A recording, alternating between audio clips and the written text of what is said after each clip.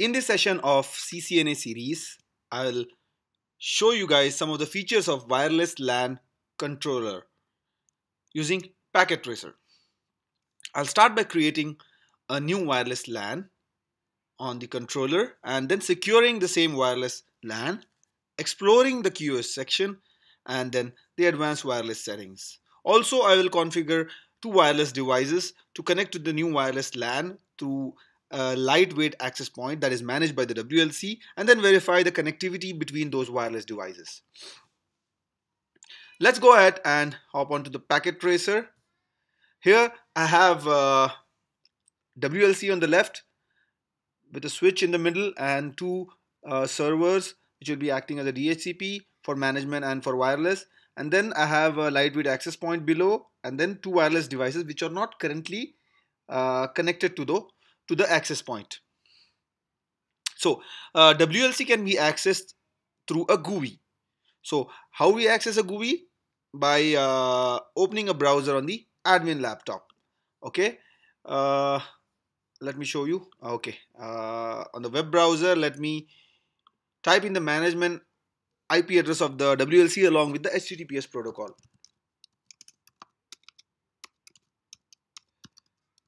192.168 1.1 is the IP of the WLC.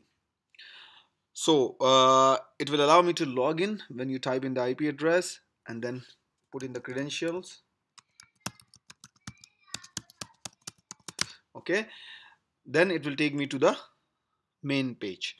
Here, uh, in order to create a wireless LAN, first thing you need to do is bind the dynamic interface to a wireless network.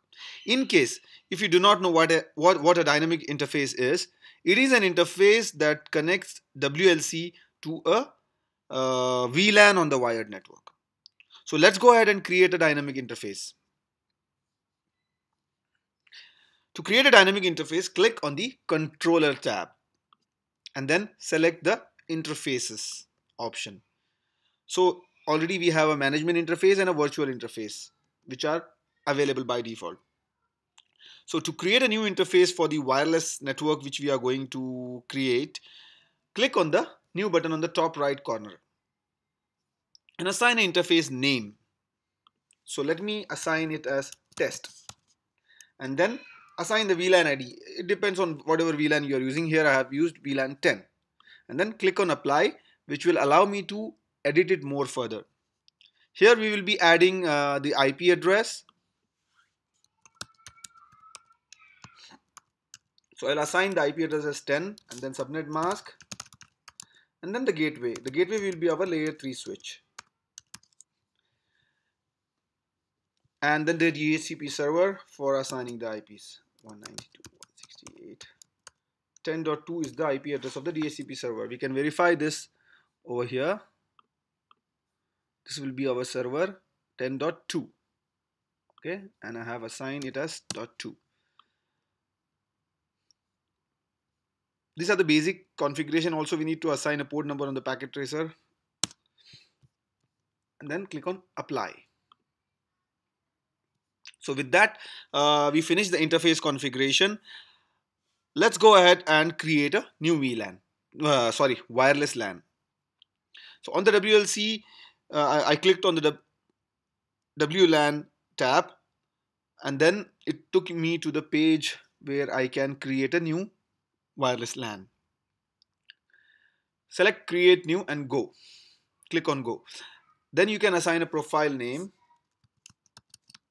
and then SSID which I will use same as I have uh, used for interface and then there's another option of assigning an ID for the wireless LAN. This value is a label that will be used to identify the wireless LAN. So here I will keep it similar to the VLAN that is VLAN 10 and apply. So this creates a wireless LAN. Now, now that uh, we have created the wireless LAN, let's enable the wireless LAN to make it functional and assign uh, the interface that will be binded to this wireless LAN. There are two interface options available. One is management and one, one is for the one which we created. So I will attach this one and then save the settings. Then we can see, we can verify the same. uh, by clicking on wireless LAN it will list the wireless LAN here wireless LAN ID the type the name of the wireless LAN SSID whether it's enabled and over here if you can see uh, there are security policies by default the new wireless LAN currently has no security in place. Okay? So let's go ahead and configure the wireless LAN security. Click on the wireless LAN ID to edit the wireless LAN and then click on the security tab. Here you will see the options available layer 2 layer 3 or AAA server. So uh, under the layer 2 security drop down menu select the I mean suitable security scheme to use from the option we have uh, WPA plus WPA2 is the strongest. So once you select it you will get the options below. The parameters what are the key we are going to use. So I will select WPA2 policy and it will enable AES and TKIP and then I will use a pre-shared key. And I will put the password as password. And then save the configuration so this will enable security for the wireless LAN. So uh, also we have uh, QoS option. Similarly uh, to edit the QoS click on the QoS tab to configure the quality of service settings. And then by actually by default the controller will consider all frames in the wireless LAN to be normal data to be handled in the best effort manner.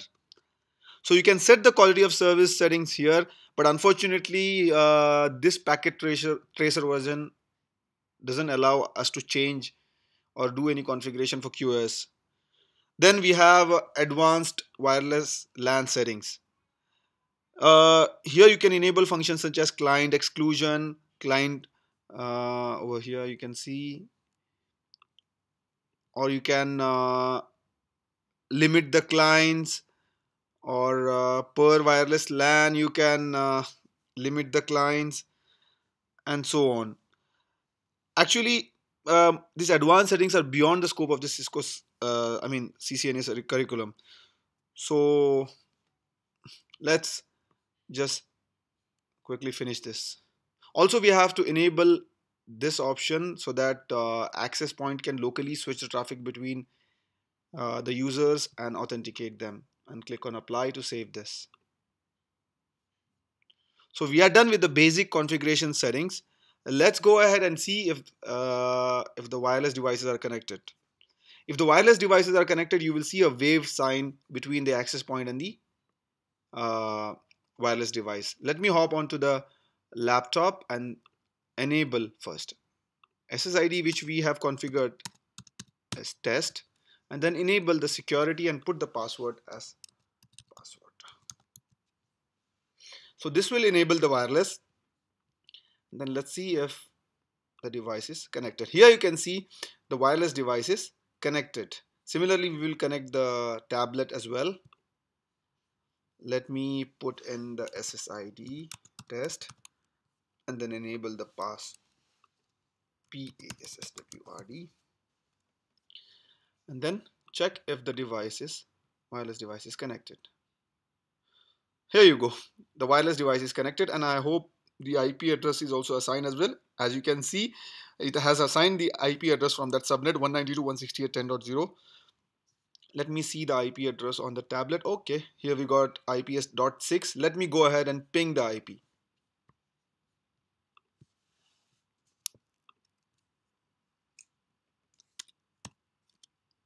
there you go. I can ping the tablet from my PC through this wireless access point. That's it for this session. I hope this was informative for you. Thank you for watching. Please do like share and subscribe. Thank you